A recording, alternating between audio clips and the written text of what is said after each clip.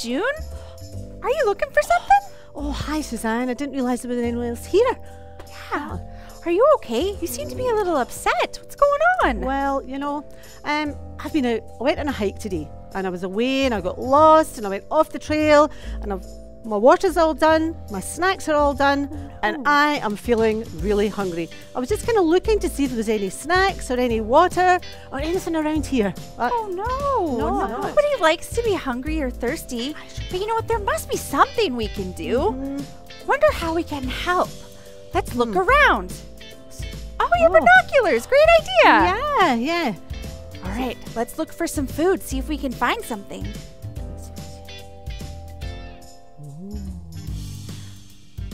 We'll be able to spy on places that we can't see from close up, far away here.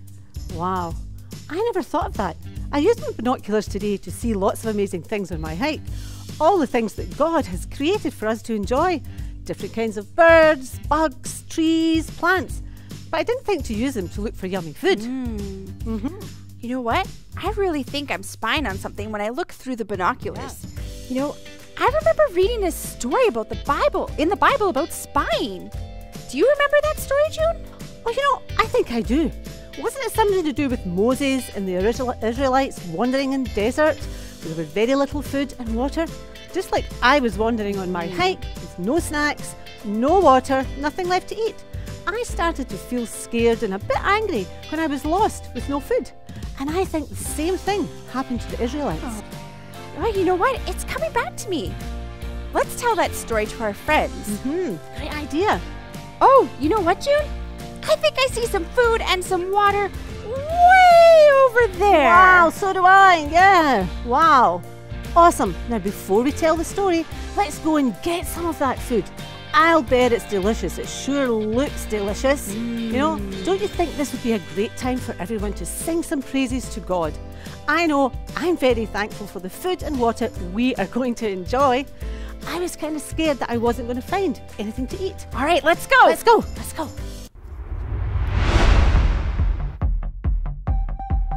Hallelujah, hallelujah,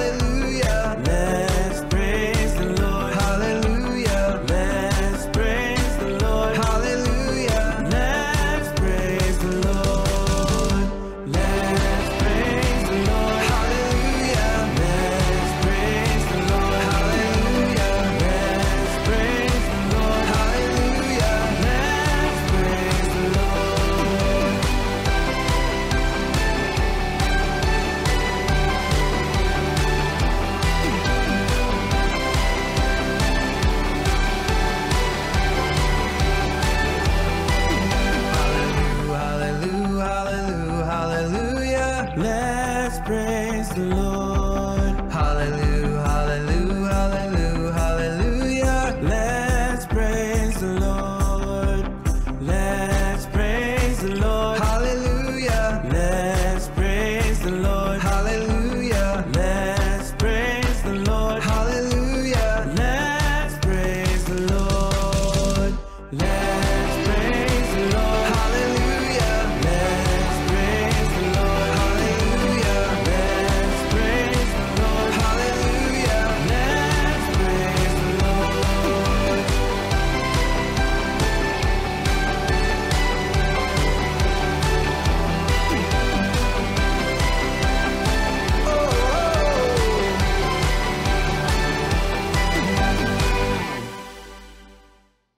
Today, friends, we're going to read from the story for little ones about two believing men.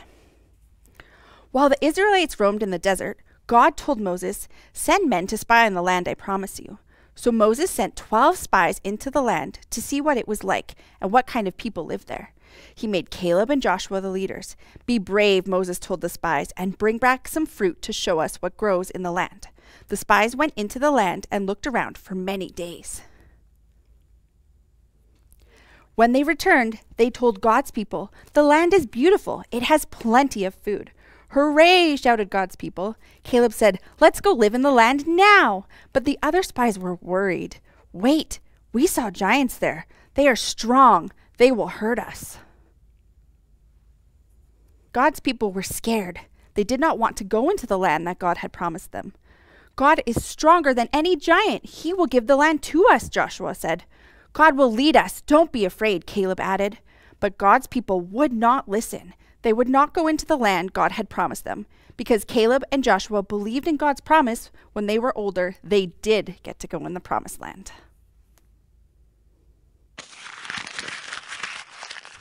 Oh, Oh, I feel so good. Wow, Suzanne, I am so thankful that you came along to help me today. You know, that food was delicious and I feel so good now. Oh, that food was so good. And it mm-hmm. was fun to find the food using our bin- binoculars.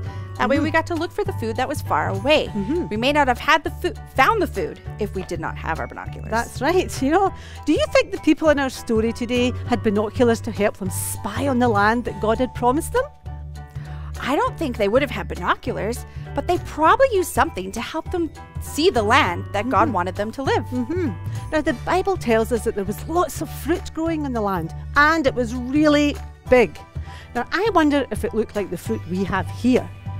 What do you think? Hmm. Hey, friends, do you think the fruit was really big? Why don't you guys make some binoculars with your hands and see if you can help us find really big fruit? Mm-hmm. Maybe you will find some of your favorite fruit. Let's Ready? look. Wow. Look. Oh, I think I see an orange. Ooh, apples. Oh, They're Oh, my oh, oh, favorite. oh, there's some grapes over there. Yummy. Wow.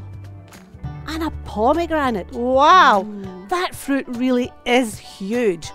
Now, the 12 spies must have been so excited to see all that yummy food. They had been wandering in the desert for a very long time, and it's hot and dry in the desert, so food doesn't really grow very well. I think they'd been eating the same food for a long, long time, and not a lot of fruit. Yeah. They loved to see all that food, but then they saw something else and they were not so excited. Oh no. Okay, okay, friends, I wonder where it was. Let's use our binoculars again. Let's see if we can see what the 12 spies saw. Let's look around. Can you see anything? Oh no, June. Oh, oh. Can you see what I'm seeing? Oh, oh, oh. I think I do, Suzanne. Oh no, I see people and they look really big and scary. No wonder the spies didn't want to go and oh. live there. Well, oh. Not all the spies were scared though. Right, yeah, Joshua that's and. Caleb wanted to take all the Israelites there right away. They Mhm. really trusted God, and God had promised the Israelites that He would give them the place to live somewhere amazing. Mhm. And Joshua and Caleb knew that this was it. That's right. Now, lots of the Israelites had forgotten all the promises that God had kept for them. Yeah, they forgot that God had rescued them from Egypt. They did. And he had provided food and water for them in the desert. And now He was showing them the amazing place that He had promised for them to live. How exciting. But they were scared of the people who were living there already. all except Joshua and Caleb. They mm-hmm. wanted to take the next big step that God had promised for them. Mm-hmm. I know it's sometimes scary to take a big step, like moving to a new place, a new house, maybe a new daycare or preschool. Have you ever been scared to do any of these things? If you've ever been scared to take that big step, go run behind your couch and just hide for a couple of seconds. Are you hiding? Let's see if you're hiding. Run, run, run. Okay, and let's come back. Okay, you're not scared anymore. Whew. I know I have felt mm-hmm. scared, but when we remember that God has promised to take care of us, we will trust in his promises, and then we don't have to be so scared. That's right, yes. Just like Joshua and Caleb. They remembered all the promises God had kept for the Israelites. They trusted that God's plan was the best, and they were excited to take that next step and go and live in the promised land. They believed God's promises, and you can believe in His promises too, to help you be brave when you are scared. Now let's all stand up really tall, be really tall, you ready? And take a great big step forward. Okay, just like we do when we're brave and trust God. Well done, everybody.